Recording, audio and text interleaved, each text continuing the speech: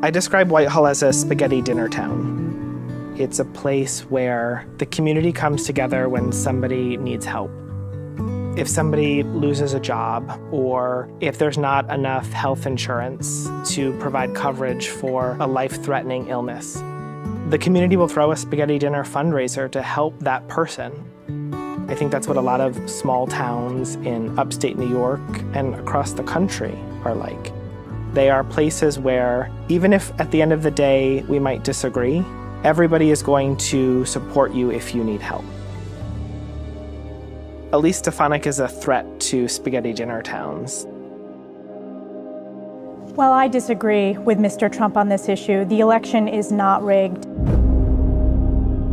After Trump lost and started pushing the big lie, Elise Stefanik signed on, fighting to overturn the 2020 electoral results in both Pennsylvania and Texas. She was a moderate, but somewhere along the line, she figured out that the only way to survive was to pivot to Donald Trump. She did it with a vengeance. If we continue to divide people, they're not going to be able to share that meal together. So much of my life in Whitehall is defined by a small business, a grocery store that my great grandmother started over 90 years ago. My parents are the third generation to own the business.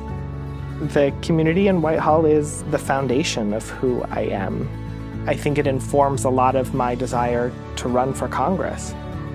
I do think that being gay gives a different perspective in leadership that is important so that we can understand each other better.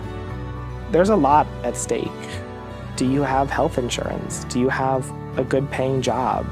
Do your children have opportunities that are better than the ones that you had? I want to serve.